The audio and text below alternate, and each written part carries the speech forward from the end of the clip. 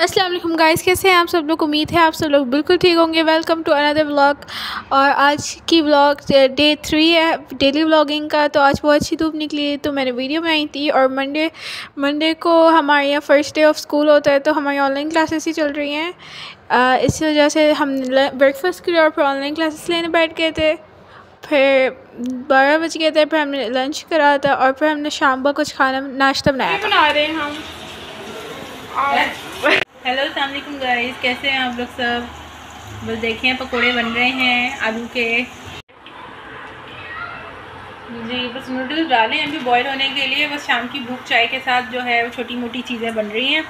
और अभी बन के तैयार होती हैं, फिर आपको दिखाते हैं। हमारे नूडल्स तैयार हो चुके हैं। बहुत यमी लग रहे हैं। अब हम खाते हैं, चलो। तो गैस में पकौड़े भी बन चुके हैं अब उनको एंजॉय करते हैं। अब हम शाम की वॉक करने आए हैं। अभी तकरीबन चार बज रहे हैं।